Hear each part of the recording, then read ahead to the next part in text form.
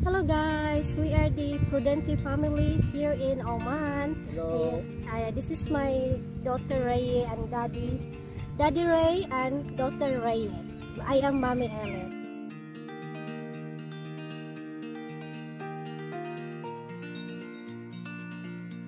Dalawa. Gininaw na, gininaw na yung isa guys, hindi na makalakad. Nilamig na. Lamig na, bebe?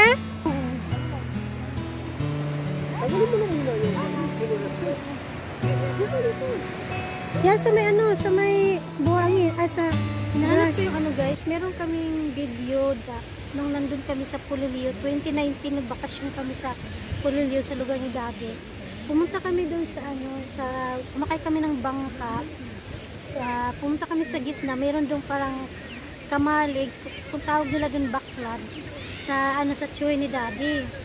Tapos ang ganda guys, ang ganda ng ano ng cottage. Meron siyang ano po, ah, pwede kang mag-picnic doon, ay, tapos maligo.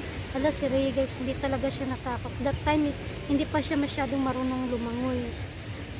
Uh, paunti-unti pa lang, pero talaga siya natakot. Alam mo ba yung, yung dipa daw ng tubig na yun, na maabot ng 22? 22 daw yun. Kasi nasa gitna na ng ano, yun, ng, yung sa dagat talaga, gitna ng dagat. Tapos may net doon, may mga ano, fish net doon. Nanap ko yung video na yun, nasa na yun, nasa computer ni daddy eh. Gusto ko i-upload.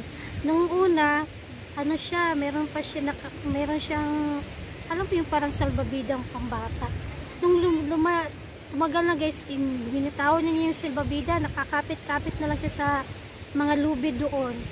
Tapos lalangoy siya, tapos dali-dalian niya para makakapit siya sa lubid. Kaya sabi nung chewy ni daddy, tingnan mo yung anak mo, ang tapang-tapang. Tapos sabi ko nga, ay, ay, oo nga eh, batang isla talaga yan, dugong ano, dugong taga Pulilio Island. so yun guys, sana mahanap po yung video na yun. Ayan, padami na ng madami yung mga tao guys. Paano na? Mayroon na kaming kapitbahay dito sa gilid. Hindi ko lang mapig na video ko. Ayun, medyo hindi ako masyadong ano guys, kaninang umaga hindi ako masyadong nag-open ng video. Gusto ko sanang mag ano mag video pero wala ako sa ano kaya hindi ako naligo kasi alam mo yon hirap ng ano ng, parang wala ako sa mood. Kaya mo yun yung ano yung buhay ko ngayon guys. Napakahirap. Kasi halos hindi ko alam kung anong kakainin ko lahat ng ano sa bahay ano allergic ako maya maya hindi ako makahinga tapos wala pa akong gamot na pwede kong ano yan. Kasi nga yung anti-histamine ko hindi na nga papalab kaya maya maya na lang nebulizer ako kung parang hindi na makakaya. Ang problema wala pang sahod si daddy. Hindi pa niya ako mabila ng mga ulam na pwede kong kainin. Alam mo yun yung ano na-stress ako mag kaya hindi ako masyadong nagsasalita sa kanya dahil wala din naman siyang maibili wala din naman siyang maibigay ay nako buhay kaya yung iniisip ng iba, kaya minsan nais, tapos may ano, may mga problema sa Pilipinas, sa kailangan daw tulungan, sa side ni daddy. Alam mo yun, iniisip ko, akala siguro nila ang ganda ng buhay ko dito. Akala siguro nila ako ang nagkukontrol sa pera ni daddy. Na, sus, ginoo ko. Ang, ang ano guys, sa mga anak ni daddy, mga step, uh, step daughters ko, step children ko, alam nila yung ano, sitwasyon ko, naintindihan nila ako. Lalo na si Boy, yung stepdaughter ko isa. Sa kanya kasi ako nag-open ng problema ko. Ayun, sa kay Goy ako nag-open. Kaya naintindihan niya yung sitwasyon namin at alam niya na ano na wala akong hinahawa akong pera sa daddy nila. Alam niya yon alam ni Goy. Kaya si, si kaya si Goy, ano yon tansyado niya yon kapag ka, ano, manghingi siya ng tulong sa amin. Sa akin kasi siya dua, unang dumadaing. Tinatansya niya yun kasi alam niya kasi yung sitwasyon namin. Yung, kailan lang ba kami nakaluwag-luwag ni daddy guys? Nung ano lang, nito lang ano, naka, naka nito lang kasi makaka, magkakaroon ng trabaho si JR, yung junior yung daddy yung, yung engineer, magkakaroon na siya ng trabaho. So nito lang talagang buwan na to makaluwag-luwag kami.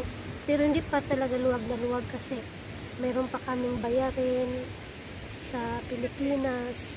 Ang nangyari kasi kumuha kami ng kondo, condominium. Bali, preparation namin yun, investment namin for Reye. Kasi yung mga kapatid niya sa Pilipinas, okay na sila kasi natapos naman sila magtrabaho. Uh, amin, tapos silang mag-aral. Ang problemahin na lang nila makapaghanap ng stable na trabaho.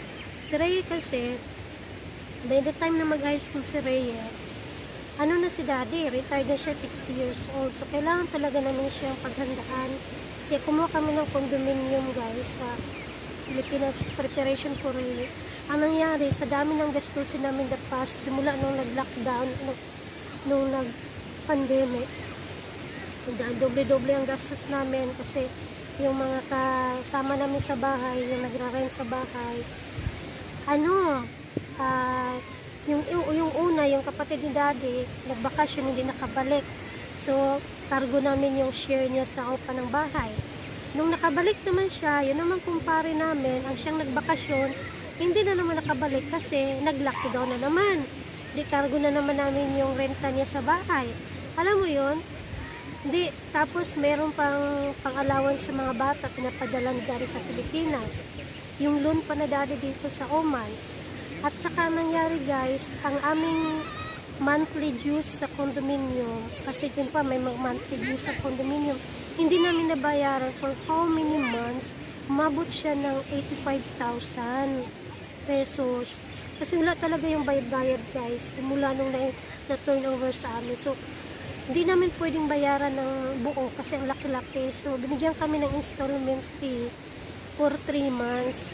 Kaya kailangan namin magbayad for 3 months dun sa monthly dues. Kaya ngayon, kipit-kipit talaga kami. Dahil pang ano, this month is pang third month ni daddy magbayad. Siguro mga next month tapos na yun. Hello po, mga Pilipino.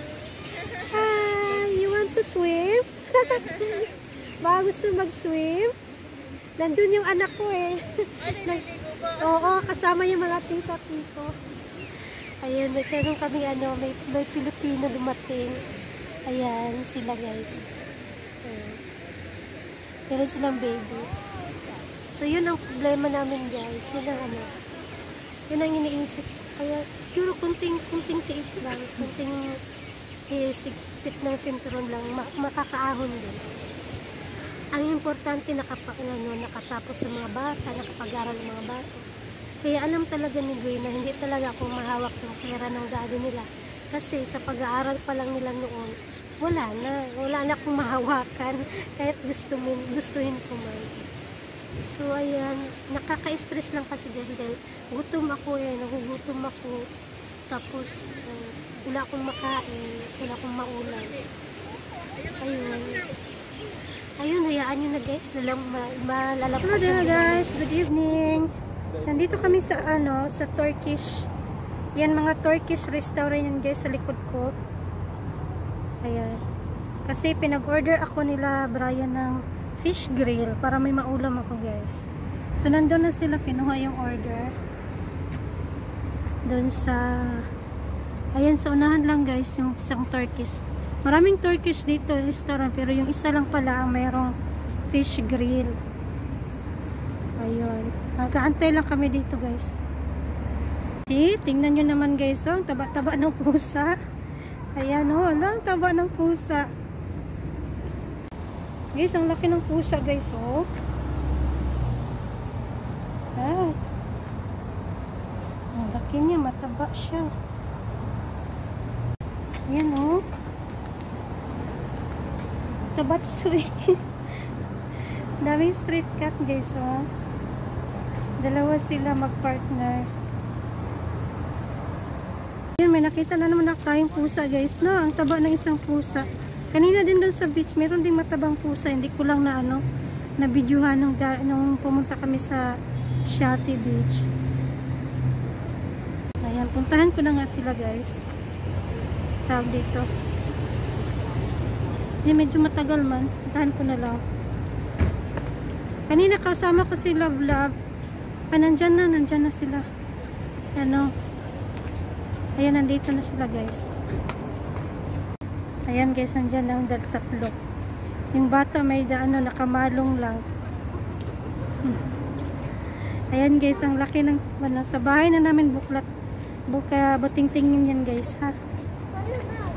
Ayan na, nandyan na. Ayan. Ito guys yung bread niya guys. Oh. Sesame bread. Mahaba yan guys. And then yung binili namin grill na fish ito. Ayan. Wala lang siyang hummus. Hindi namin, hindi namin na-add na ano ng salad. So, ganyan lang siya. Anyway, okay na yan. Pwede namang magano ka ng sarili mong salad. So, that's it guys. That's it yung ano, dinner for tonight. Chips ni Rhea. Dagko kay lang chips. Parang may hipon. Ha? Parang may hipon. Ano nga yung green